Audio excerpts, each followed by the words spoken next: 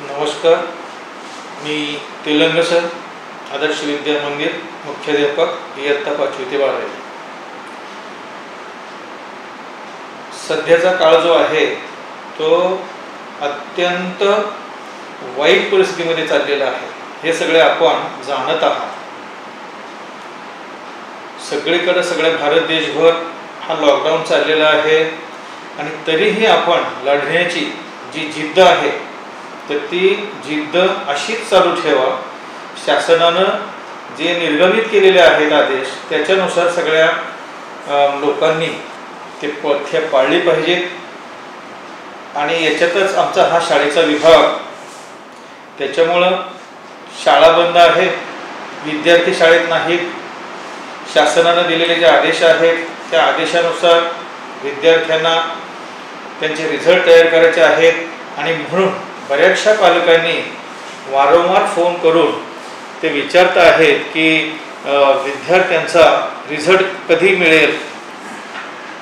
तेव्हा इयत्ता पाचवी ते नववी आणि इयत्ता अकरावी हे जे तिन्ही विभाग आहेत या तिन्ही विभागाचे निकाल हे लॉकडाऊन उठल्यानंतरच शासन आदेशान्वये संबंधित आमच्या या शिक्षकांकडून ते तयार केल्यानंतर प्रगती पुस्तकात भरून झाल्याच्यानंतर शाळेच्या अधिकृत वेबसाईटवर प्रदर्शित केले जाणार आहे. त्याच्यामुळं पालकांनी काहीही गडबड करायची नाही. विद्यार्थ्यांचा रिझल्ट त्यांना त्याच्या त्यांच्या त्यांच्या घरी मोबाईलवरती किंवा लॅपटॉपवरती त्यांना पाहायला मिळेल कॉम्प्युटरवरती पाहायला मिळेल. पेज ओपन होईल आणि त्याच्यामध्ये आपल्या पाल्याचा आपल्याला जागेवरती घरी बसूनच निकाल पाहता येऊ शकेल. दुसरी गोष्ट अशी की आणखीन काही पालकांनी प्रश्न विचारलेले आहेत की नवीन ॲडमिशनच्या संदर्भामध्ये कधी करणार आहात? तर नवीन वर्षामध्ये शाळा सुरू झाल्यानंतरच नवीन प्रवेश दिले जातील. पालकांना विनंती आहे की आपला पाल्य जो आहे ज्या बाहेरून जे काही विद्यार्थी इकडे येणार आहेत त्यांनी आमच्याकडं नोंदणी केलेली आहे. त्यांचे फोन नंबर कॉन्टॅक्ट वगैरे आमच्याकडे दिलेले आहेत. इयत्ता तुकडी त्यांनी इयत्ता लिहिलेले आहेत. पण असं असूनही सगळ्यांना आमची अशी विनंती आहे की जेव्हा शाळा सुरू होतील त्या क्षणी आपल्याला आपल्या पाल्यांचा प्रवेश आमच्या विद्यालयामध्ये करता येऊ शकेल. मात्र त्या आपल्या पाल्यांचं गुणपत्रक म्हणजे प्रगतीपुस्तक आणि शाळा सोडल्याचा दाखला हे महत्त्वाची कागदपत्र सोबतच घेऊन यायची आणि त्याचं ऑन दी स्पॉट ॲडमिशन केलं जाईल. मी असंही विचारलेलं आहे की पुस्तकं मिळतील का? पुस्तकांचं काय?